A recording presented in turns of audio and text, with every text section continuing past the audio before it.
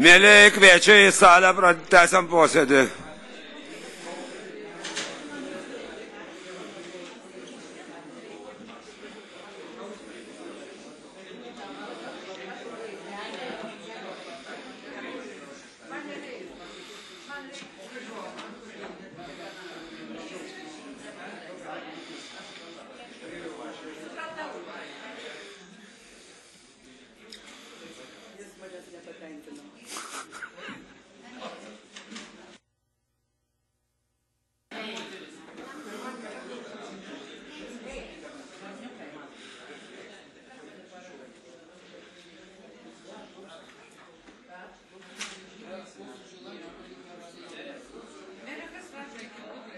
pais.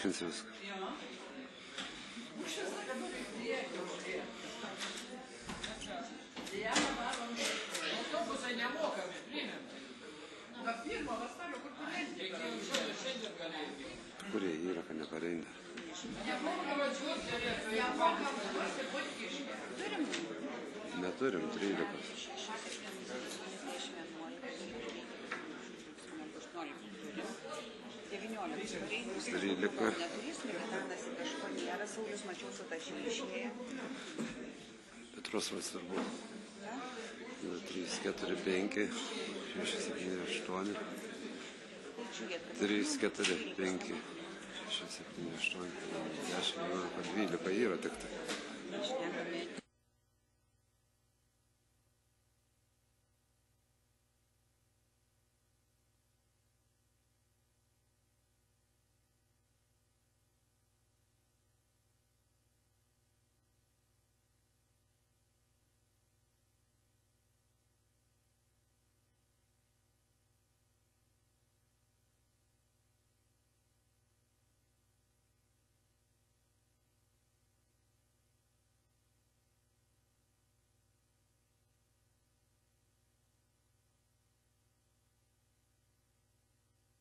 Gerai, mėlyje, pertrauka baigėsi, užėmam darbo vietas, tęsiam posėdį.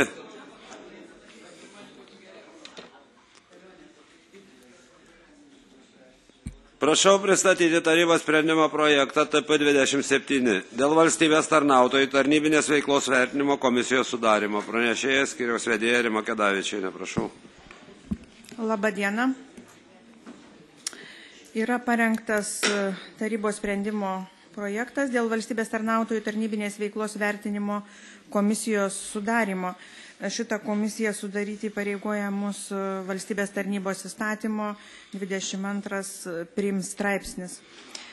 Vertinimo komisija yra sudaroma, jeigu būtų reikalingumas vertinti savaldybės kontrolieriaus, savaldybės kontrolieriaus tarnybos valstybės tarnautojų, centralizuotos savaldybės vidaus audito tarnybos vadovo, vidaus auditorių ir savaldybės administracijoje sudarytos vertinimo komisijos narių tarnybinę veiklą. Įstatymo nuostata dėl šios komisijos sudarimo imperatyvi ir taryba turėtų ją sudaryti. Ačiū ir klausimų pranešėjai turit. Klausė tarybos narė Aldona Rašenko, prašau. Komisijos pirmininkas savaldybės administracijos direktorius Remigijus Ačas. Toliau Darius Ulickas yra administracijos direktoriaus pavaduotojas, Indrė Antanaitė, ekonomikos ir ūkio departamento direktorė, Danutė Banienė, strateginio planavimo ir projektų valdymo skyriaus vyriausioji specialistė, kaip profsąjungos atstovė ir Regina Petreikienė, švietimo kultūros ir ūkdymo skyriaus vedėja. Ar dar klausimų turit? Jeigu neturit, pasisakančių. Linas Bielskis, tarybos narys, prašau. Šiek kiek suprantu, ši komisija dabar vertins į seniūnų vertinimui. Ne, ne. Seniūnus vertins administracijoje sudaryta vertinimo komisija. Kita, čia, čia, Čia kita. Taip, ten direktoriaus įsakymu. Jeigu atidžiai klausėt, pranešėja jums akcentavo, įvardijo, ką vertina šitą komisiją. Jeigu klausimų nėra daugiau, todėl siūlau balsuoti pagal pateiktą tarybos sprendimo projektą.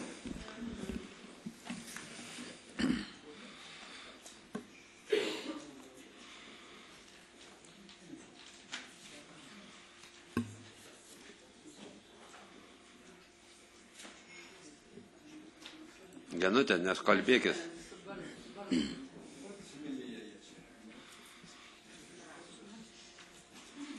Gerai posėdėje dalyvauja 21 tarybos narys, 20 balsavus už, vienam nebalsavus, sprendimas priimtas. Prašau pranešėją pristatyti tarybos sprendimo projektą TP numeris 2 dėl seniūnaičių rinkimo ir atšaukimo tvarkos aprašo patvirtinimo. Nuo sausio pirmos įsigaliojus vietos savivaldos įstatymo 33 straipsnio e, pataisoms e, savivaldybės taryba e, turi patvirtinti seniūnaičių rinkimo ir atšaukimo tvarkos aprašą. Jis yra parengtas atsižvelgiant, nu, jame yra numatytos papildomos nuostatos, kitaip sakant, patys organizaciniai klausimai, kaip turi būti seniūnaičiai renkami ir atšaukiami, o seniūnaičiams nustatyti kvalifikaciniai reikalavimai ir visos kitos aplinkybės yra pačiame įstatyme. Klausimas buvo svarstytas komitetuose, jam buvo pritarta. Tarybos narys Linas Bielskis, prašau. Aš norėjau paklausti dėl tų 5 procentų, kai direktorius galės atšaukti seniūnaitį, gavęs 5 procentų rinkėjų. Nu, tai pavyzdžiui, jeigu kaimas nėra didelis, turi seniūnaitį, tai apie 10 žmonių kreipsis į, į direktorių, jis gali atšaukti seniūnaitį. Ar čia tie 5 procentai mūsų sugalvoti, ar čia pagal kokį įstatymą? Ne, įstatymė yra vietos savivaldos įrašyta, kad ne, ne mažiau kaip 5 procentai seniūnaitijos gyventojų. Hmm seniūnaitijos, nu gal kaimas e, vis tiek nebus viena seniūnaitija. Nu, žiūrint koks bendrai. Gerai, ačiū labai. Dar klausimų turit pranešėjai. Klausė tarybos narys Jonas Vasgys, prašau. Tada, kada, kiek e, turbūt dalyvaujančių susirinkime, kad būtų išrinktas senaitis? Taip pat nemažiau kaip 5 procentai. Nemažiau. Gerai, tarybos narys Sigitas Vaičius, prašau. Ar jūs negalit pasakyti, ar tarybos valioj nustatyti didesnį procentą, nes yra, kaip kolega Linas Bielskis sako, labai e, nu, nelogiška, susirinka 10 žmonių, nusprendžia 10 žmonių, kuriem kažko nepatinka būtent tas žmogus ir jį nušalina. Ne, tų procentų pakeisti negalim, imperatyviai yra nustatyta, tačiau tie, e, tie, tie 5 procentai, sakykime, tie žmonės turės e, tam tikrus argumentus e, pateikti ir motyvus. Ir direktorius nušalindamas irgi taip pat turės tą klausimą nu, vis tiek atsakyti. Gerai, tarybos narys Stepanas Nasius, prašau. Aš tiesiog noriu pasitikslinti, nes dabar mane tai tupok šiek tiek išgazdino šitie skaičiai, bet tai, tai inicijuoja tik tai atleidimą tos seninaičių. Taip, taip, taip, Ačiū. taip. Gerai, Bet ačiū. direktorius tik tai gali atšaukti. Pasisakančių dar šito klausimą yra už ar prieš. Nėra, tada siūlau balsuoti pagal pateiktą tarybos sprendimo projektą.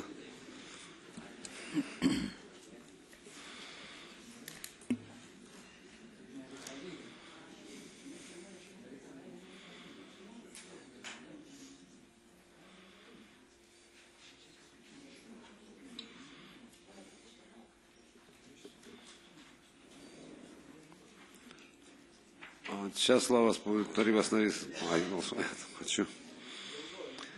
Ne, aš atsiklausiau, dėl to klausiu, ar balsuojat ar ne. Gerai, e, dalyvauja 20 tarybos narių posėdėje, visiems 20 balsavus už sprendimas priimtas. Prašau pristatyti tarybos sprendimo projektą TP 19 dėl Raseinių rajono savivaldybės seniūnaičių sueigos nuostatų patvirtinimo.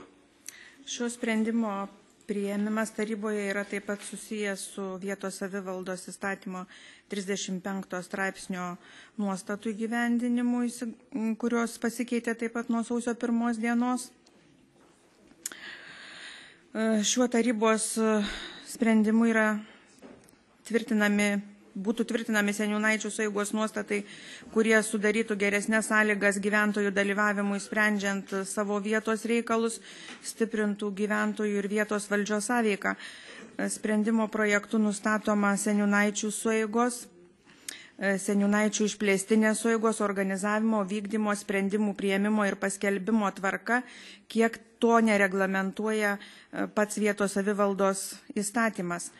Seniūnaičių sueigų sprendimai, mm, nors ir rekomendacinio pobūdžio, būtų, tačiau atitinkama savivaldybės institucija, taryba ar administracijos direktorius, e, kam jie skirti, turėtų juos įvertinti, priimti dėl jų motivuotus sprendimus ir apie tai viešai paskelbti.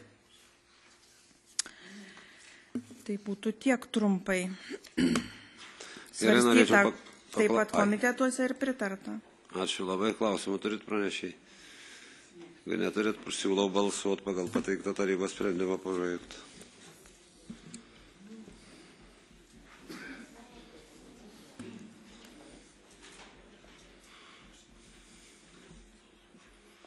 Posėdėje dalyvauja 21 tarybos narys, 21 balsavus už sprendimas priimtas. Prašau pristatyti tarybos sprendimo projektą TP3 dėl Raseinių rajono savivaldybės tarybos veiklos reglamento pakeitimo. Šis tarybos sprendimas e, taip pat parengtas atsižvelgiant į vietos savivaldos pataisas įsigaliojančias nuo sausio pirmos dienos. E, Šiais tarybos veiklos reglamento pakeitimais e, bus įtvirtinama pakeitimai susiję su dviejų naujų vietos savivaldos principų subsidiarumo ir viešumo įtvirtinimu, kad apie tarybos posėdžio laiką sprendimų projektus visiems gali pranešti ne tik meras, mero pavaduotojas, o kai šio nėra ir laikinai mero pareigas einantis tarybos narys, e, kad komiteto posėdžiai yra teisėti, kai juose dalyvauja daugiau kaip pusė visų komitetų narių, kad etikos ir antikorupcijos e, komisijose seniūnaičiai arba seniūnaičiai ir visuomenės atstovai turi sudaryti ne mažiau kaip vieną trečdalį komisijos narių. E, Taip pat nauja, kad meras e, turi teisę e, savaldybės administracijos direktoriui, savaldybės kontrolieriui suteikti atostogas, siūsti juos į komandiruotės. O kai mero nėra su biudžetinių įstaigų vadovų darbų santykiais susijusius klausimus, gali būti pavedama ir laikinai mero pareigas einančiam tarybos nariui. Na, šie, šie tokie kosmetiniai pakeitimai, kurie galbūt Gerai, tarybos narys. Sigitas Vaičius, prašau. Aš norėčiau jūsų paklausti, ar visi padaryti pakeitimai yra susijęs su vietos savivaldos įstatymų pasikeitimais, ar yra kažkurie padaryti pakeitimai ir mūsų pačių iniciatyva. Ne. Jūs galite pasakyti. Taip, nes aš pati rengiau grinai pagal įstatymą. Ačiū dar klausimų pranešėjai turit. Jeigu neturit, pasisakančių už, prieš. Aš norėčiau tik paaiškinti vieną situaciją tokią apie šito reglamento pakeitimo vieną punktą dėl, e, jeigu mero nėra arba meras serga ar atostogauja, e, vicemeras ar tarybos narys, kuris laikinai pavaduoja merą, neturėdavo teisės, pavyzdžiui, išleisti ūkdymo įstaigų vadovo atostogų, ar jeigu susirgdavo, jie negalėdavo priimti sprendimą, kad kas jų turėtų pavaduoti ir taip toliau. Tai buvo tikrai gana sudėtingas klausimas ir šito reglamento papildymų straipsnių mes kaip tik tai sprendžiam šitą problemą. Gerai, ačiū ir tad, jeigu nėra daugiau, tada noriu, kad balsuotumėt pagal pateiktą projektą.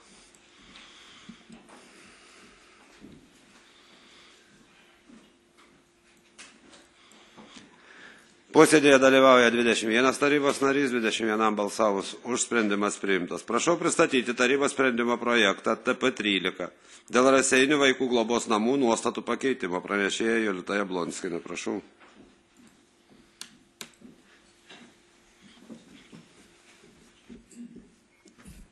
Labadiena. Šiuo tarybos sprendimo projektu prašoma pakeisti Raseinių vaikų globos namų nuostatus ir juose įrašyti tokią nuostatą, kad e, ga- galima būtų apgyvendinti globos namuose vaikus e, nuo gimimo, kadangi nuo sausio pirmos dienos įsigaliojo teisės aktai, kuriais ne, nebegalima apgyvendinti kūdikių, kūdikių namuose. Šis tarybos sprendimo projektas svarstytas sveikatos socialinių reikalų komitete ir jam pritarta. Klausia tarybos narys Andrius Baltronis, prašau. Aš noriu pastirauti, ar mes šiai funkcijai turėsim na, vietos vaikų globos namuose, nesgi, kaip suprantu, tenais vietos maža. E, Šiaip e, yra pasirengę globos namai tai Priimta, daryti, ne? turi šiokį tokį inventorių, o darbuotojams planuojama irgi, jeigu bus toks atvejis, e, tiesiog patvirtinus socialinės paslaugos kainą, specialiai būtent kūdikių globai socialinės paslaugos kainą ir, ir tuomet tenais mokėtų galbūt priedą dirbantiems darbuotojams. Pradžioje taip yra galvojama spręsti, ateityje matysime, kokia bus situacija.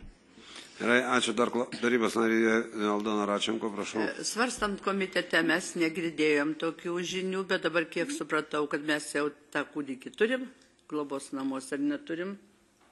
Direktorė. Vakar šviežiai čia. Ačiū. Gerai, ačiū. Dar klausimų pranešėjai turit? Jeigu neturit, tai siūlau balsuoti pagal tarybos sprendimo projektą.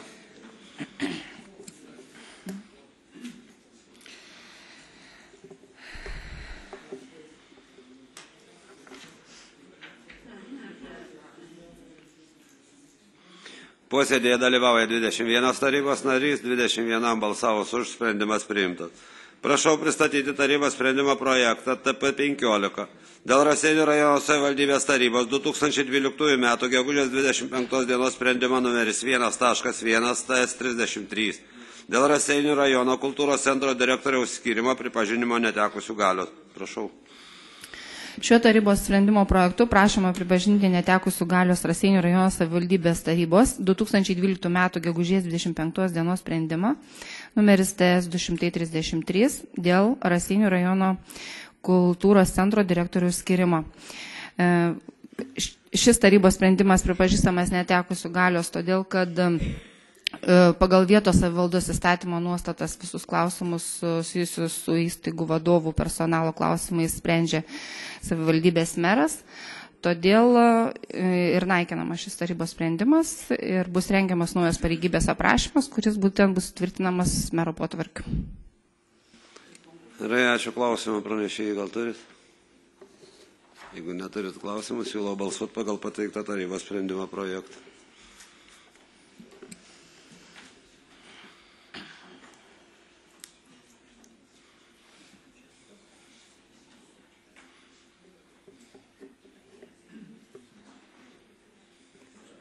Posėdėje dalyvauja 21 tarybos narys, 21 balsavus už sprendimas priimtas. Prašau pristatyti tarybos sprendimo projektą TP5 dėl nevyriausybinių organizacijų socialinės veiklos rėmimo Raseinių rajono savivaldybėje tvarkos aprašo patvirtinimo. E, tarybos sprendimo projektu prašoma patvirtinti nevyriausybinio organizacijų socialinės veiklos rėmimo Raseinių rajono savivaldybėje tvarkos aprašą. Prieš tai galiojas keičiamas dėl tokios pagrindinės priežasties, tai kad nebesudaroma galimybė teikti projektus pagal šią tvarką kaimo bendruomenėms, kadangi kaimo bendruomenės turi galimybę teikti projektų pariškas pagal kitą priemonę ir tiesiog paliekama tokiu būdu daugiau lėšų toms organizacijoms, kurios į kitas priemonės nepatenka. Taigi šis tarybos sprendimo projektas svarstytas e, sveikatos ir socialinių reikalų komitete ir jam pritarta. Kaip prašom, klausimų pranešėjai gal turite? Jei neturit klausimų, siūlau balsuoti pagal pateiktą tarybos sprendimo projektą.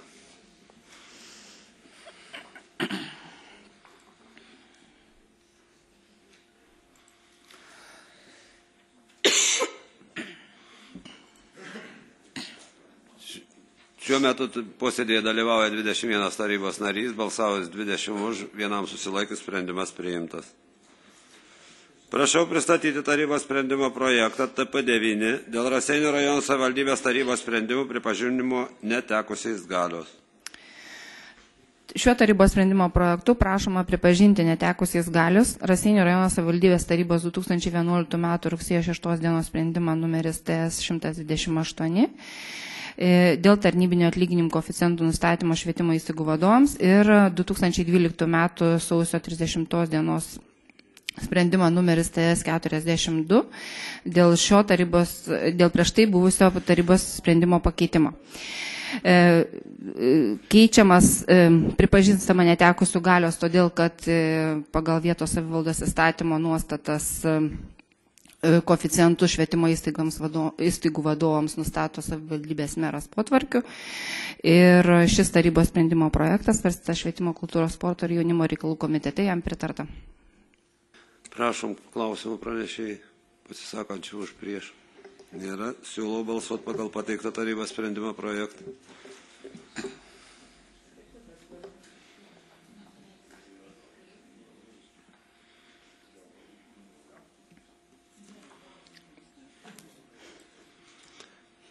Šiuo metu posėdėje dalyvauja 20 tarybos narių, 20 pasisakius už sprendimas priimtas. Prašau pristatyti tarybos sprendimo projektą TP21.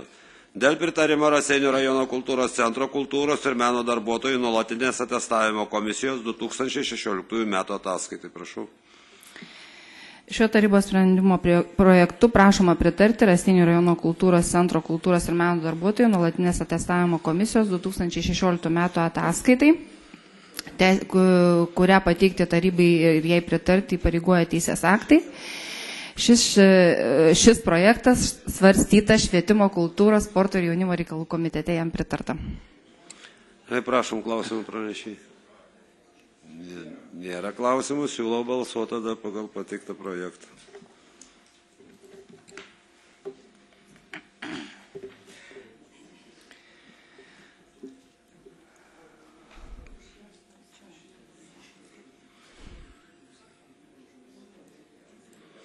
Gerbiami tarybos nariai, visi balsavot, ne visi, ne? Gerai, e, dalyvauja 19, e, už balsavus 19, vienbalsiai priimtas tarybos sprendimas. Prašau pristatyti tarybos sprendimo projektą TP10 dėl Raseinių rajono savivaldybės 2017-2019 metų švietimo įstaigų mokytojų ir pagalbos mokinių specialistų, įskyrus psichologus, atestacijos programos patvirtinimo. Tarybos sprendimo projektu prašoma patvirtinti Raseinių rajono savivaldybės 2017-2019 metų švietimo įstaigų mokytojų ir pagalbos mokinių specialistų išskyrus psichologus atestacijos programą. Teisės aktai pareigoja, kad šito, tokia programa būtų tvirtinama kasmet, atsižvelgiant į mokytojų pateiktus prašymus. E, Ir šis tarybos sprendimo projektas svarstas švietimo kultūros, sporto ir jaunimo reikalų komitete jam pritarta. Prašom pranešėjai klausimus, gerbiami tarybos nariai. Klausė tarybos narys Linas Bielskis, O prašau. kodėl čia išskyrus psichologus, ar čia jom atskira kažkokia programa, ar šiaip E, Taip, atskira ir be to tai priklauso, koks jis yra tas psichologas, ar klinikinis vadinamas, ar pedagoginis, ir, žodžiu, ten yra kiti reikalavimai. Gerai, ačiū dar klausimų pranešėjai turit. Pasisakančių už ar prieš. Nėra, siūlau balsuoti pagal pateiktą tarybos sprendimo projektą.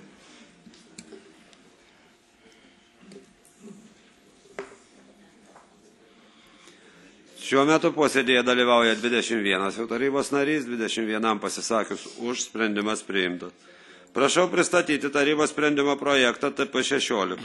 Dėl Raseinių rajono savivaldybės tarybos 2016 m. spalio 27 dienos sprendimo numeris TS 357. Dėl Raseinių rajono kultūros centro kultūros ir meno darbuotojų nuolatinės testavimo komisijos sudarimo pirmo punkto pakeitimo. Prašau. Tarybos sprendimo projektu prašoma pakeisti Raseinių rajono savivaldybės 2016 m. spalio 27 dienos sprendimo numeris TS 357 dėl Raseinių rajono kultūros Centro kultūros ir meno darbuotojų nuolatinės atestavimo komisijos sudarimo pirmą punktą. Ir vietoje komisijos nario e, Algimanto Melinio įrašyti komisijos narį e, Raseinių rajono savivaldybės administracijos direktoriaus pavaduotoją Darų Licką. Šis e, tarybos sprendimo projektas svarstytas švietimo kultūros, sporto ir jaunimo reikalų komitete jam pritarta. Klausimų pranešėjai turite? Gerai, klausė tarybos narys Linas Bielskis. Ar čia pagal pareigybės tai priklausytų, ar paprasčiausiai specialistą dėl ko keičiame? Dėl E, administracijos. Tiesiog atstovas. e, tai yra administracijos e, darbuotojas. Na, kaip pavaduotojas, žodžiu, tiesiog, e, o prieš tai buvo gerbiamas Algimantas Malinis. Nesusitvarkys dabar, sakot. Ne, paprasčiausiai yra kaip administracijos atstovas, o pirma buvo Algimantas Mėlinis kaip administracijos direktorius. Gerai, dar klausimų pranešiai turit. Jeigu neturit, siūlau balsuoti pagal pateiktą projektą.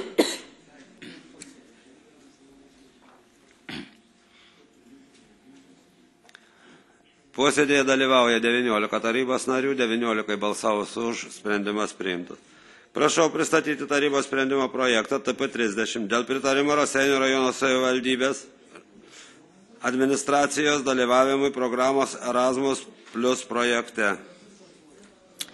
Tarybos sprendimo projektu prašoma pritarti Raseinių rajono savivaldybės administracijos dalyvavimui programos Erasmus Plus projekte kokybiška mokykla partnerio teisėmis projekto įgyvendinimo laikotarpiu nuo 2000, 2000, 2016 metų rugsėjo 1 dienos iki 2019 metų rugsėjo, rūpiučio 31 dienos.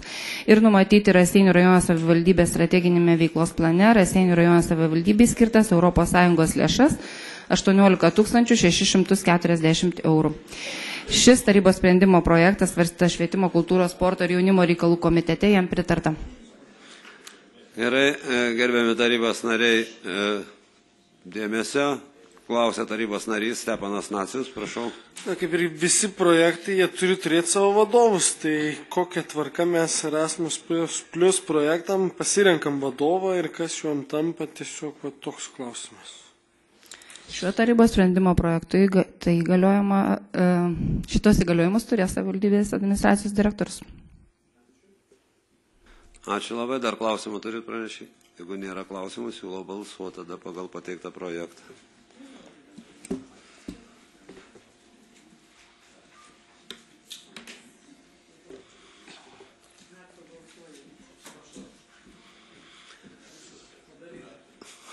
Gerai, posėdėje dalyvauja 21 tarybos narys, 21 balsavus už sprendimas priimtas. Prašau pristatyti Kauno regiono integruotos teritorijų vystymų programos įgyvendinimą už 2016 metų ataskaitą pranešėjai Indrė Antanaitinė. Labadiena dar kartelį. Kauno regiono teritorijų vystimo programos įgyvendinimo 2016 metų ataskaita yra pateikta savivaldybės tarybos nariams per komitetus pristatyta detaliai ir yra pristatyta visa informacija būtent apie Raseinių miesto kaip tikslinės teritorijos projektų vykdymo eigą. Trumpai galbūt dar kartelį paminėsiu, kad iš viso šitoj tiksliniai programai yra įtraukta Raseinių savivaldybės 13 projektų, iš jų vienas projektas yra baigtas įgyvendinti, kiti šiuo metu yra rengiama dokumentacija arba pradedami vykdyti. Tai iš jų projektų yra šešios gatvės, vienas dviračių takas, vienas kultūros ryties projektas ir keturi viešųjų erdvių modernizavimo projektai. Tiek būtų trumpai, jeigu būtų klausimų, detaliau atsakyčiau. Tarybos narys Ričardas Bartus klaus. Atsiprašau. Jeigu klausimų nėra, tada norėčiau, kad bendru sutarimu išklausius pritartumėm šitai ataskaitai, kadangi mums reikia pateikti tarybai šitą ataskaitą ir mes turim nesprendimu, bet pritarimu protokoliniu, kad ataskaita buvo išklausyta. Gerai, sutarėm, ką bendru sutarimu. Gerbiami tarybos nariai, dabar trumpa informacija, kurios norėčiau paprašyti, kad jūs labai atidžiai išklausytumėt. Šeštadienį yra minimas Raseinių AB, Raseinių autobusų parkas 25 metais. Renginių pradžiai 9 valandos 30 minučių, todėl kviečiu jūs dalyvauti šitose renginiuose. Tai pirmas kvietimas. Antras. Vasario 16 dienai norėčiau, kad nuo kiekvienos partijos deleguotumėt po vieną atstovą, kurie iškilmingam posėdėje pasakytų, paskaitytų pranešimus Ir šitos delegatus norėtume, kad jūs pavardės praneštumėt sekretariato vedėjai iki trečiadienio. Ir noriu informuoti, kad po iškilmingo posėdžio vyksim į Šiluvą, atidengsime moralinę lentą generolui Jonu Žemaičiui. O šiandien 13 valandų 30 minučių iš savivaldybės aikštelės išvyksta autobusas į renginius viduklėje, kur bus įamžinamas e, gerbiamo amžinatilsi monsinjoro Alfonso Svarinsko atminimą. Programa tikriausiai jūs turit visi kvietimus, susideda iš dviejų tokių pagrindinių dalių, tai yra mišęs ir e, pranešimai e, bažnyčioje ir paminklinės atidengimą bei pašventinimą. Todėl kviečiu visus aktyviai dalyvauti šitose renginiuose ir geros likusios darbo dienos. Posėdis baigtas.